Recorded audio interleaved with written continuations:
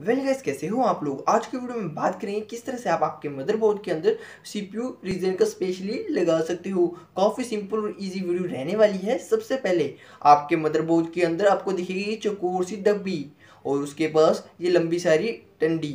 उसे खींचोगे ऊपर की तरफ़। जैसे कि हमारे पास है हमारा सीपीयू जिसके नीचे है काफ़ी ज़्यादा कहते आपको ये उस डब्बी को ऊपर रख देना है। देखा जाए तो आपको पता कैसे चलेगा कि कौन सी डायरेक्शन में रखना है। थोड़ा सा आँखें खोल काम लेना बिकॉज़ जो कि आपका सीपीयू होगा, उसके ऊपर दिखेगी एक छोटी सी सफ़ेद रंग की बिंदी, और आपके मदरबोर्ड के नीचे भी होगी बिंदी छोटी छोटी दिख रही है ना, उसके ऊपर सेम पैटर्न बनाते हुए उसके ऊपर रख दें। बिल्कुल हल्के हाथ से, नहीं तो पिन घुस गई तो तो आपका सीपीयू खराब हो जाएगा। ऐसा रखने के बाद डंडी को करूँगा नीचे की तरफ़ बंद, और ये इस ऊपर फिट हो गया। और बड़ी आसानी से हमने एक सीपीयू हमारे मदरबोर्ड के अंदर इंस्टॉल कर लिया। आई होप अमेजिंग लगी होगी। ऐसी और वीडियो के लिए चैनल को सब्सक्राइब कर लेना।